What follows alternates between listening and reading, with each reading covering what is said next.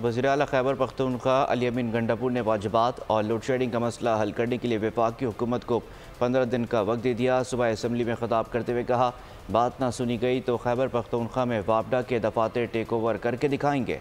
अपने सूबे के अवाम के लिए चोर का लफ्ज बर्दाश्त नहीं करेंगे। चोर कौन है, दुनिया जानती है। तो हम अपना फ़र्ज़ पूरा कर रहे हैं बैसीत पाकिस्तानी बैसी सूबा। बावजूद इसे कि हमारे साथ जुल्म हो रहा है, ज्यादती हो रही है और बार बार हो रही है। ये पूरा पाकिस्तान जानता है कि पाकिस्तान बनने से पहले से लेके अब तक जिस तरह पाकिस्तान में हर एक ने कुर्बानी दी, हर पाकिस्तानी ने कुर्बानी दी। इन लोगों ने बहुत ज़्यादा कुर्बानी दी है, हमारे अमान इस रवैये के साथ मैं समझता हूँ कि अगर ये समझा जा रहा है कि हम खामोश रहेंगे और खामोशी से बर्दाश्त करेंगे तो ऐसा नहीं होगा।